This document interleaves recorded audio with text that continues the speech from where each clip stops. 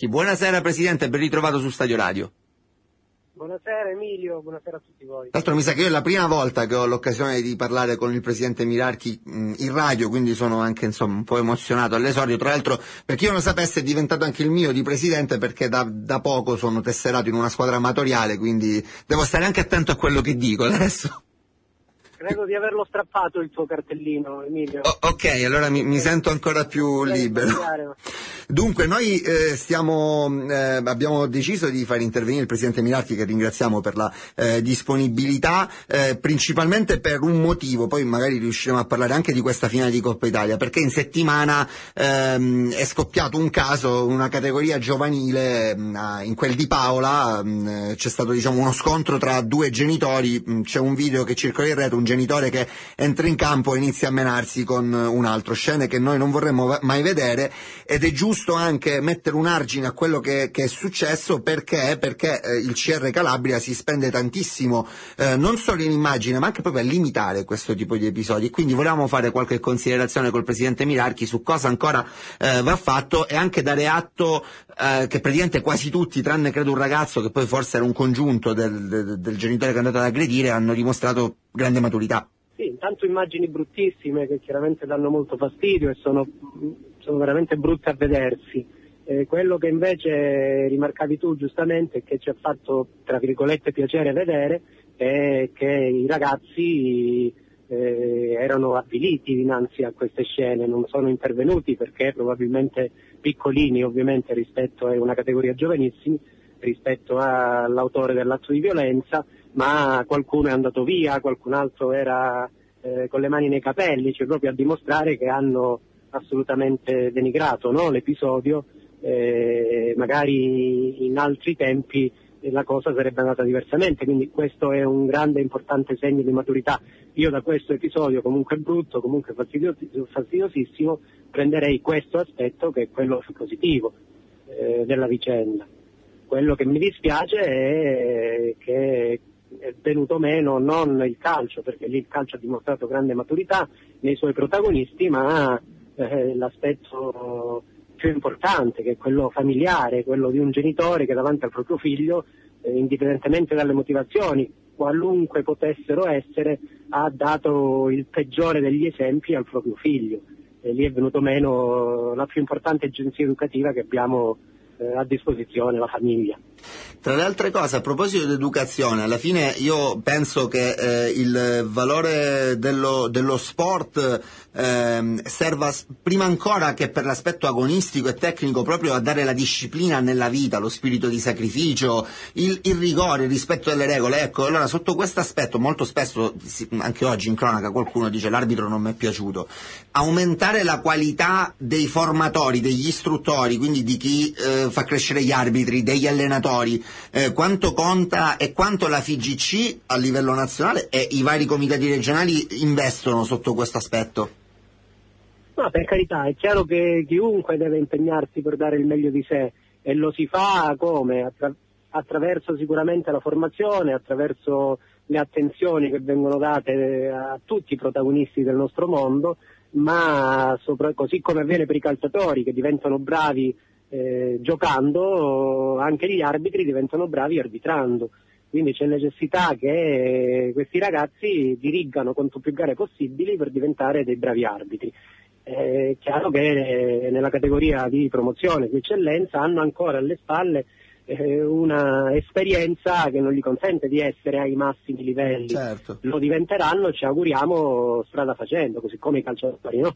I calciatori di seconda, terza categoria, di promozione, ci sono calciatori che hanno un'esperienza calcisticamente limitata, ovviamente non sono i calciatori di Serie A, più giocano più diventano bravi, più arbitrano più diventano bravi, più allenano i nostri allenatori più diventano bravi.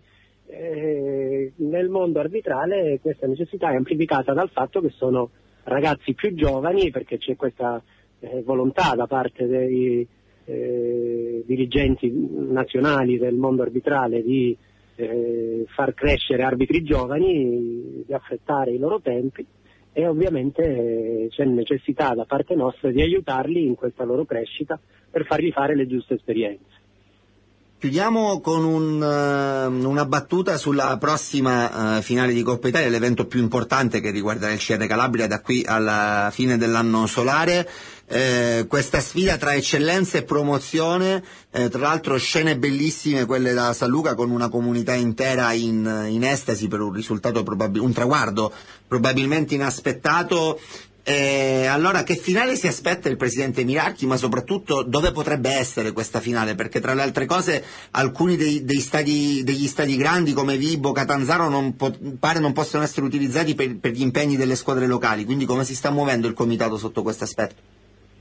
Ah, intanto è una finale inedita per certi versi, perché sicuramente il fatto di avere una squadra di promozione negli ultimi anni mi pare sia accaduto una volta sola. La città novese. Fatto, esatto, la città novese il fatto che sia San Luca che assume un carattere eh, valoriale importantissimo per la nostra terra eh, comunque una finale inedita perché anche il Corigliano mi pare non l'abbia mai giocata una finale regionale di Coppa Italia eh, quindi da questo punto di vista di temi ce ne stanno tantissimi eh, quanto al campo di gioco effettivamente è vero che i, i grandi stadi eh, sono difficili da reperire perché Vibo non è pensabile per questioni eh, legate alla Vibonese, Catanzaro idem, eh, per restare ovviamente nelle zone centrali. Certo. Ecco, quindi siamo, la Messia purtroppo ha i problemi che conosciamo, speriamo che in qualche modo eh, il commissario Prefettizio con il quale ci siamo già sentiti